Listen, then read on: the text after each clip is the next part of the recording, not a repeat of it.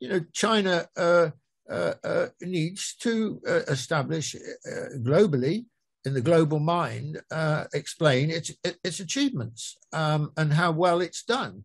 Um, it's not trying to persuade anyone else to be like it, like it, but it, but it, it, I think it is while not offering a model to other others, it does offer lessons. For example, reduction in poverty, extraordinary economic growth, handling the pandemic. I mean, you know, despite the disgraceful uh, arguments by the West to denigrate China from January 2019, the reality is that China has been absolutely brilliant in the way that it's handled the pandemic.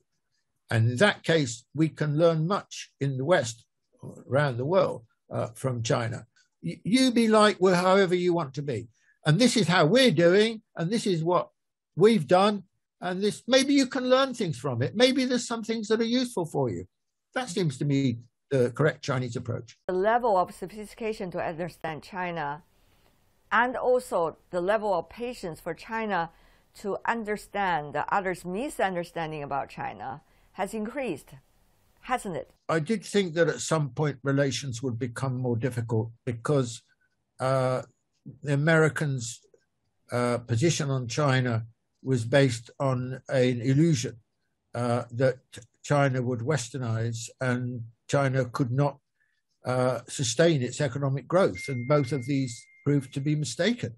Basically, it starts with Trump's election uh, in uh, the end of 2016, and then the shift in the attitude of America towards China, rather than regarding it as a partner, seeing it as a threat, and then you got this um, uh, really uh, drastic retreat into a language which was belonged to the Cold War, really, uh, and we were back to the most you know simplified and fundamentalist and backward looking view of China.